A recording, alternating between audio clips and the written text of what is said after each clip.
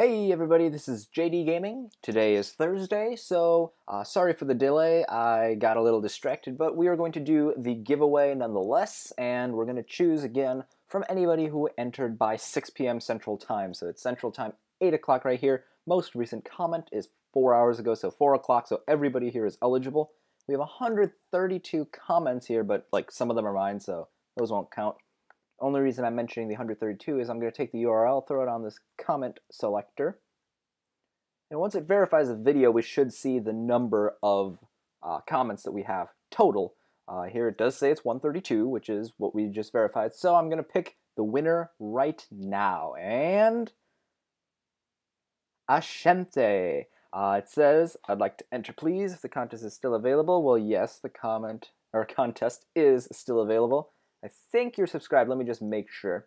So once again, if you haven't been around for the first round of contest giveaway, what I'm doing is once a winner is chosen, I want to make sure that someone who is already subscribed wins so that I'm not cheating people who have subscribed.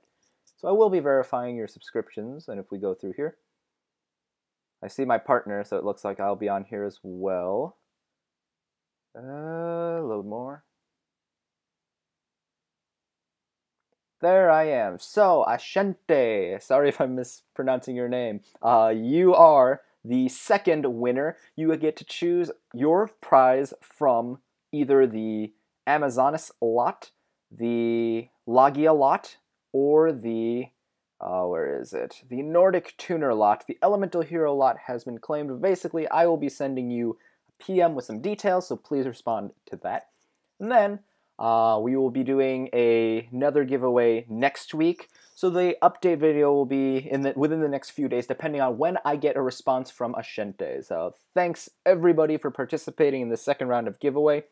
Uh, I will be giving the second leaderboard update in the next couple days as well, so make sure you stay tuned for that. Hope you guys enjoyed. This is JD Gaming, and I'll see you guys next time.